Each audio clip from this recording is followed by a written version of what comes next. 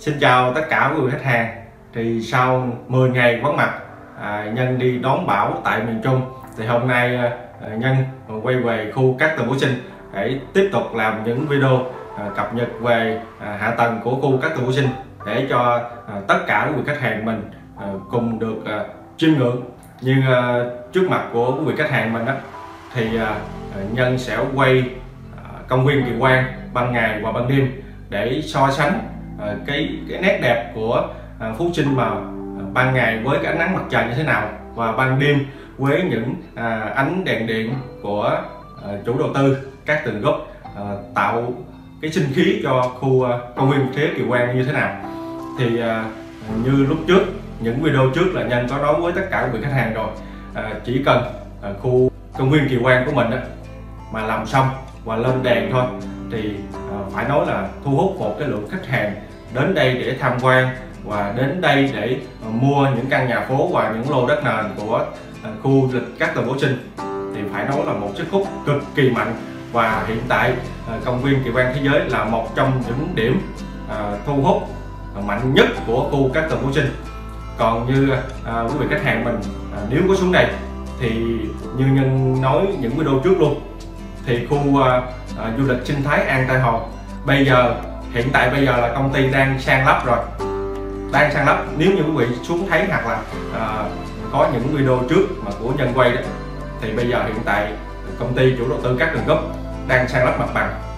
Thì đó là một dấu hiệu một cái mầm mống là của một cái sự phát triển và à, tăng giá trị của khu các tường Phú Trinh, phải nói là lên gấp đôi gấp ba. Đó như uh, tất cả quý vị khách hàng mình thấy lúc mà chưa xong công viên Kỳ Quan ấy, thì rất nhiều là à, khách hàng từ những nơi khác à, ở Sài Gòn như một cái video trước nhân có nói à, thậm chí từ Hà Nội mà bay vào đây để tham quan công viên Kỳ Quan và để mua những lô đất nền của khu các tầng Phú Sinh mình. Đó thì ờ, quý vị khách hàng mình thấy được cái sức hút cái tiềm năng của nó là như thế nào ha? À, còn bây giờ bây giờ hiện tại là nếu nói về ban đêm ban đêm thì công viên kỳ quan của mình xong chỉ mới khoảng 90 phần trăm thôi đã lên đèn rồi đã lên đèn nhưng mà ờ, chưa hoàn thành. Để mà hoàn thành nữa thì ờ, còn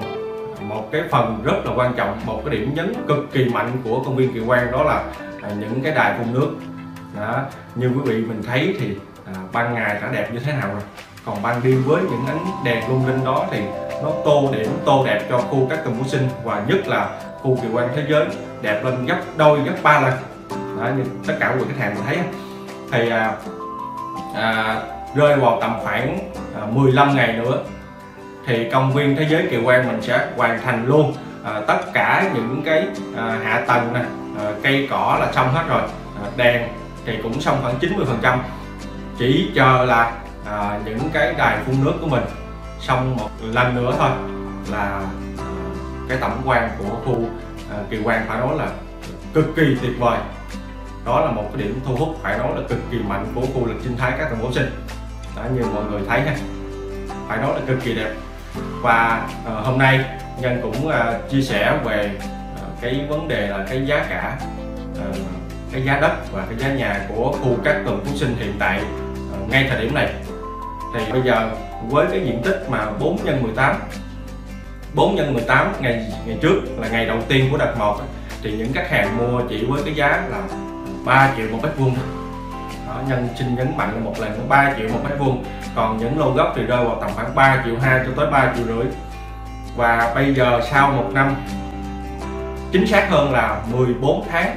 sau 14 tháng quay lại thì uh, hiện tại đợt 1 uh, ờ, của giai đoạn 1 thì cái giá cả mà nếu như quý vị khách hàng mình uh, cách đây một tháng tức là cách đây một tháng là lúc trước là đang bán uh, đợt 8 đang bán đợt 8 cá thùng sinh thì bên kia với cái giá là tầm khoảng 450 triệu một lô với diện tích 4 x 18 hoặc là 500 triệu còn bây giờ nếu như tất cả quý vị khách hàng mình hiện tại ngay thời điểm hôm nay mà quý vị mình quay lại để mua những cái lô của đợt 1 thì với cái giá không dưới 600 triệu đó. thật sự là không dưới cái giá 600 triệu bởi vì uh, thứ nhất là nhân cũng đi hỏi đó. nhân cũng đi hỏi những cái khách hàng cũ à, cái thứ nhất cái thứ hai là hỏi những khách hàng à, tại thời điểm ờ, mà ờ, xây nhà đầu tiên nhất của khu du lịch sinh thái các tầng mẫu sinh. Thì những cô chú mới trả lời là với cái giá là bây giờ nếu như con mua cái khu này nó đã ra sổ rồi thì con cầm 600 triệu 600 triệu để kiếm một lô mà để xây nhà thì không có. À, thì cô mới nói là ừ cô có những khách hàng uh, ký gửi lại với cái giá là 418 thì, thì cái giá là rẻ nhất là 650 triệu một lô. Phải nói là cực kỳ kinh khủng. À, nếu như mình nói về những à, khách hàng mà mới lần đầu tiên à, đi à, đầu tư bất động sản thì à, những cái cái cái lô mà đợt đầu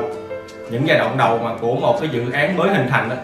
thì phải nói là cái sự rủi ro của mình cực kỳ cao nhưng những người am hiểu về đầu tư bất động sản và những cái người lớn tuổi mà đã về hưu thì thường là họ sẽ làm họ sẽ mua những cái lô đất đó để để cho họ có một cái đồng lương kêu bằng thu nhập thụ động để cho họ sinh sống cái khoảng đời còn lại. Vì sao nhân nói như vậy? Tức là mình chỉ cần à mình bỏ ra cái cái vốn ban đầu. Ví dụ như nhân nói à, Ờ, lúc trước là đợt 1 của khu các tầng vô sinh thì khách hàng mua với cái giá 4 x 18 là 319 triệu một lô. Thì 319 triệu nếu như quý khách nào trả luôn thì công ty chiết khấu xuống thì lúc đó nó rơi tầm khoảng hai trăm mấy gần 300 đó, nhân nói tròn cho là 300 300 triệu một lô. Thì sau 15 tháng 14 15 tháng quay lại thì họ bán cái lô đất ban đầu của họ với giá là 300 triệu mà họ bán lại với cái giá là 600 triệu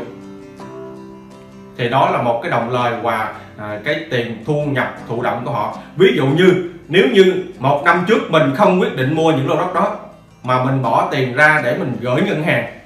đó. nếu như quý vị khách hàng mình gửi ngân hàng 300 triệu đó nhân cho quý vị khách hàng là một khách hàng uh, lâu năm lâu năm nhất Ờ, từ 10 năm trở lên thì ờ, cái tiền lãi của quý vị khách hàng cao nhất có thể là chỉ 7.5% một năm.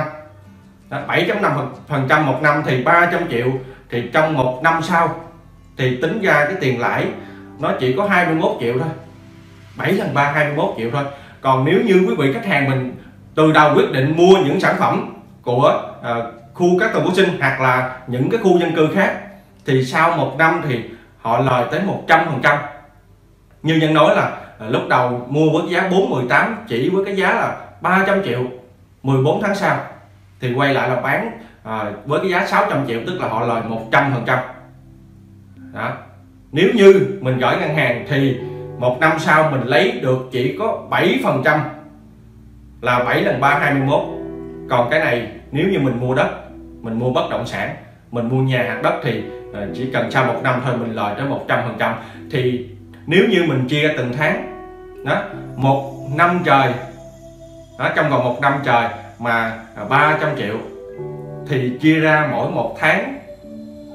là à, cái chủ nhân của lô đất đó thu nhập thụ động là 30 triệu một tháng.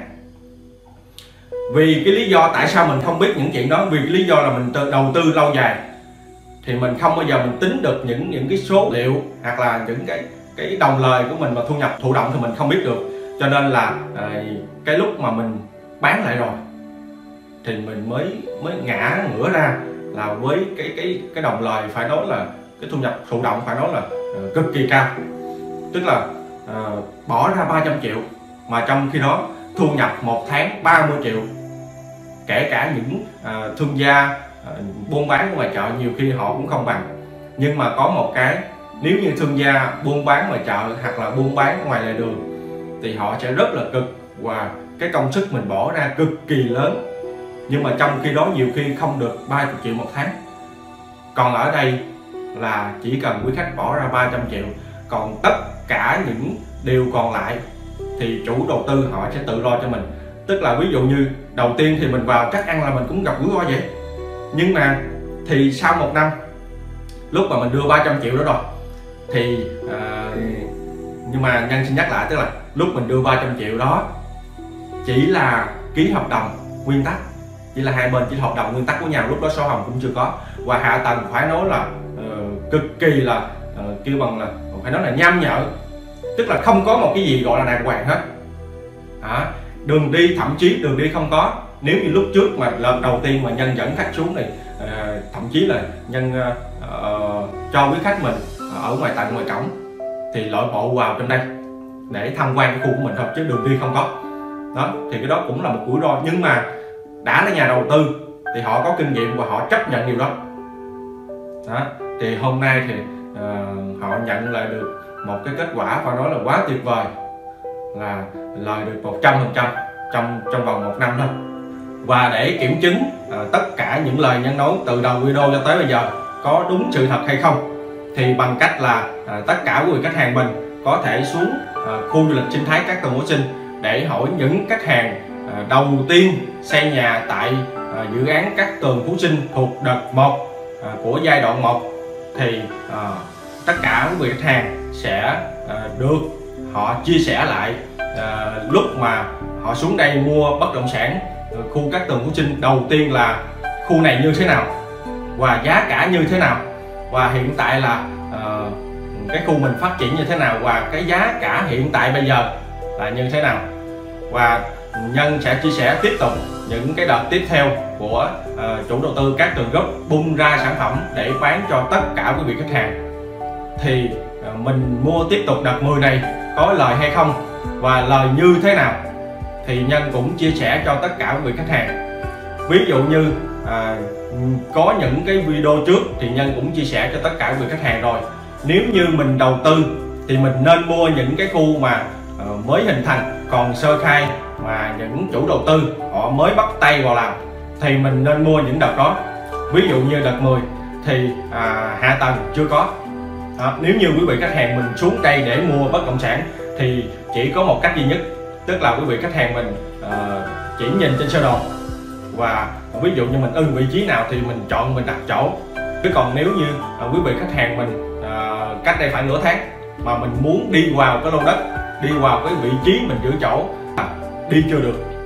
đó. còn hiện tại bây giờ thì nếu như người vị khách hàng mình xuống lại cái khu này thì đã có đường đi hết rồi đã đi được rồi thì đó là một lý do đó là một lý do để mình đầu tư nếu như tất cả quý vị khách hàng mình đã là nhà đầu tư hoặc là những người mới lần đầu để mà đi đầu tư bất động sản thì mình nên mua những cái khu vực mà à, những chủ đầu tư họ chỉ mới à, làm hạ tầng hoặc là mới bắt tay vào làm thì mình mua vào những đợt đó thì chắc ăn 100% mình sẽ sinh lời. Còn nếu như quý vị khách hàng mà mua những cái sản phẩm của những dự án mà đã hoàn thiện rồi thì à, cái sự sinh lời nó sẽ rất là chậm. Còn ví dụ như tất cả quý vị khách hàng mình à, đầu tư à, những cái nơi mà với cái hạ tầng à, chưa hoàn thiện hoặc là với cái hạ tầng mà à, những khu dân cư hoặc là những cái chỗ mà nhà nước đang chuẩn bị làm hạ tầng thì mình nên đầu tư vào à, những cái khu đất đó những cái vị trí đó. Vì à, chỉ cần một cái thay đổi nhỏ thôi. Chẳng hạn như lúc đầu mà mình mua thì hạ tầng chưa có mà lúc mà mình mua xong rồi chỉ cần cái hạ tầng à, làm xong là hạ tầng ở đây là à, điện à, và à, đường xá và nước để cho mình sử dụng. Thì lúc đó chỉ cần à, hoàn thiện những cái, cái Ờ, điều nhỏ nhặt đó thôi. Thì cái bất động sản của mình nó đã ờ, tăng cái giá trị rồi. Đó mà chỉ cần những cái mà tiện ích xung quanh mọc lên nữa thì nhân nhân nói ban đầu là uh, chợ uh, trường học hoặc là bệnh viện chỉ cần những cái tiện ích đó mà nó uh, phát triển lên hoặc là nó uh, có những cái vị trí gần cái khu đất của mình mua thì lúc đó chắc ăn một điều là uh, cái lợi nhuận của mình tăng phải đó là gấp đôi gấp ba thậm chí là gấp 10 lần nhân lấy một cái ví dụ nhỏ thôi. À, như hiện tại thì nhân à, đang ở khu công nghiệp Tân Bình. Thì gần đó thì nó có một cái eon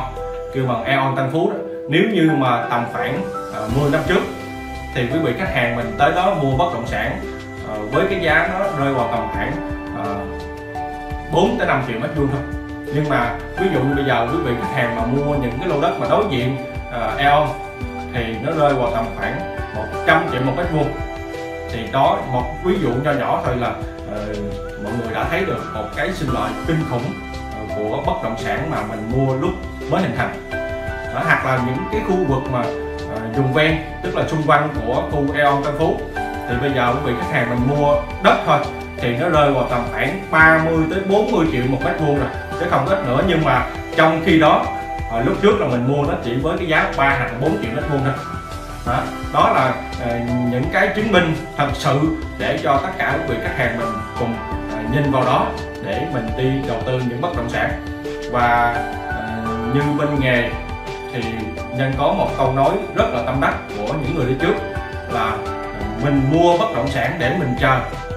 chứ đừng nên chờ để mua bất động sản. Tức là mình mua bất động sản để mình chờ những tiện ích nó mọc lên mình bán lại hoặc là mình kinh doanh chứ đừng nên à, mình